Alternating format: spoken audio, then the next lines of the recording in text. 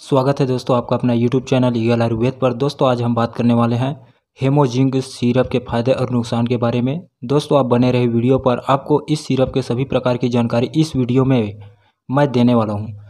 दोस्तों हीमोजिंग सिरप महिलाओं के लिए बहुत ही लाभकारी टॉनिक है।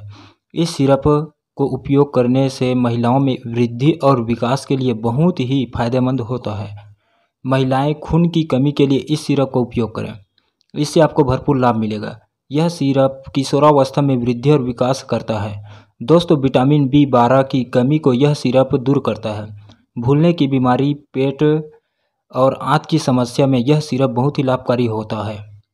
जस्ते की कमी और दस्त में यह सिरप बहुत ही लाभकारी है।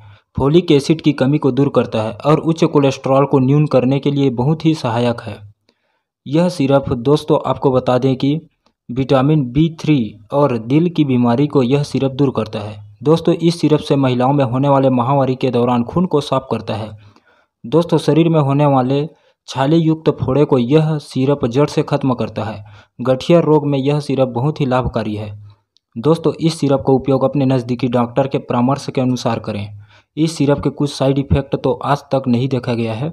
इस सिरप को आप सुबह शाम खाना खाने के बाद दो दो ढक्कन लीजिए। आपको इस सिरप से भरपूर लाभ मिलेगा।